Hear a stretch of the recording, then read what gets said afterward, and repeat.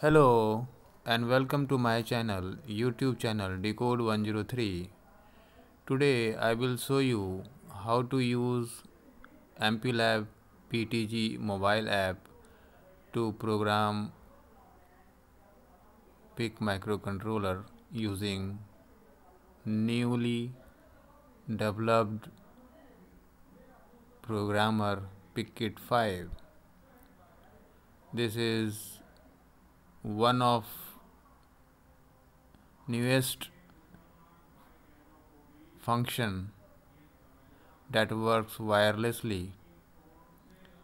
You can connect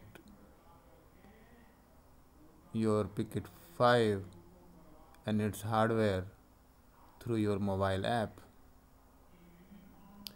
This is the interface of MPLAB PicKit 5 mobile app that is MPLAB PTG app.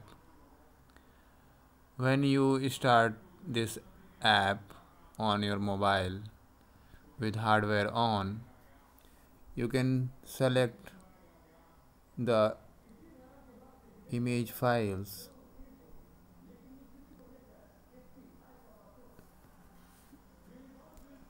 from the SD card.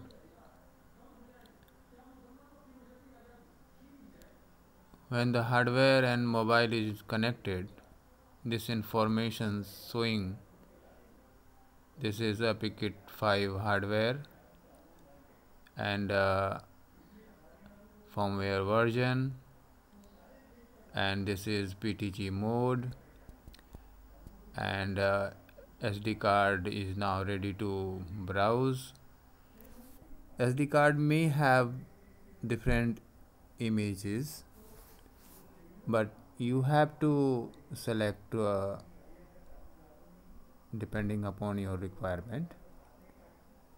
Now browse the SD card. You will see the different uh, image files on SD card. Select one and now touch the program. This will program your selected hardware with selected microcontroller. Thank you for watching videos of my channel youtube channel D-code 103 please like and subscribe. Thank you